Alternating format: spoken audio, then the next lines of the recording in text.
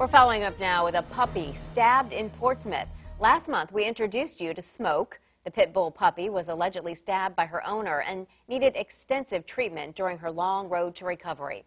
Today, 10 on your side's Tamara Scott shows us Smoke's new forever home. The big thing on Smoke's to-do list today is taking down this big stick. Two weeks ago, that was a lot different. When it first happened, she was cowering under my rear axle you know, bleeding to death, and I, I just grabbed her by the arm and pulled her out. But today, the only issue is getting Smoke to sit down. Sit. Good girl.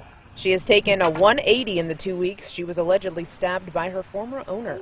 This was the jugular wound, and there's another one here, and you know, there's a stab there, there's a stab here, here, and there's one under her belly.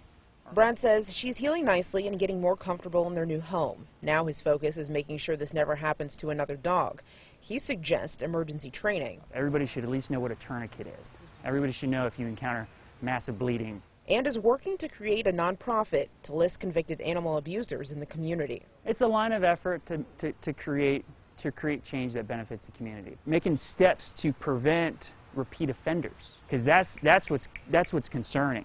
Brad says he may have saved her life, but she changed his life. We've been looking for like a lab or a German Shepherd or all these yuppie designer dogs. We were, we were never envisioning a pit bull. But yeah, we would never, ever, ever trade her in. She's got all the elements that we need. Brad tells me right now they're in the process of putting together a board of directors for their new nonprofit. If you have any questions or would like to know more information, head over to wavy.com for a link to his contact information.